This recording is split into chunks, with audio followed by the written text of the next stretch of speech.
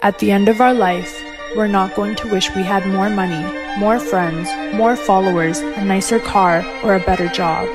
We're going to wish we spent more time with the people we love.